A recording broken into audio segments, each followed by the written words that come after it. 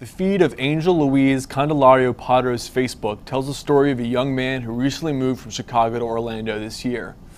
In the Windy City, Angel was a busy man.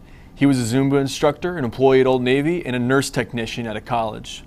He left those jobs this year and came here, according to his Facebook, and started a job at the Florida Retina Institute last Thursday, just a couple days before the shooting. Also, according to his Facebook, Angel entered into a relationship with someone else February 14th, Valentine's Day this year. Sandra Ingram, a fellow coworker and employee at Illinois Eye Institute, said in an email to me that six months ago, at our annual Christmas party, Angel put on quite the dance demonstration. We were all standing around and watching him. It was great. For OrlandoSentinel.com, I'm Jason Reuter.